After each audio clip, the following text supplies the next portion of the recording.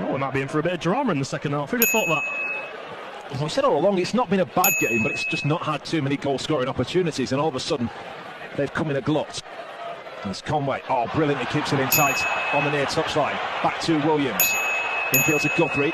Williams once more finds the feet of Emnes. Back to Conway tight on that left hand side. All the way back to Danny Guthrie. He got square to Evans, and still you think either side could win this.